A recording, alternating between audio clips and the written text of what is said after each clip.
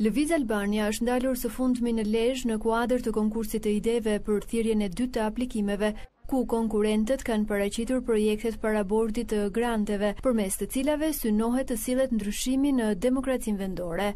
Lëviz Albania në këtë fazë ka përcaktuar edhe dy drejtime ku duhet të bazohen koncept-idetë. Për drejtoreshën Valbona Kuko, prioriteti kryesor i këtij projekti Është mbështetja e demokracisë vendore për të nxitur një qeverisje më të mirë. Ne jemi këtu sot në Lezhë për të zhvilluar konkursin e ideve, i cili në fakt vjen si rrjedhojë e një faze aplikimi për thirrjen e dytë, që Lëviz Albania ka lançuar në muajin prill të këtij viti, për çështje që lidhen drejtpërdrejt me projektin tonë, që është demokracia vendore, si ta forcojmë atë. Si të rrisim zërin e qytetarit në mënyrën se si përcaktohen politikat vendore, në mënyrën se si zbatohen, a janë transparente, a ka llogaridhënie.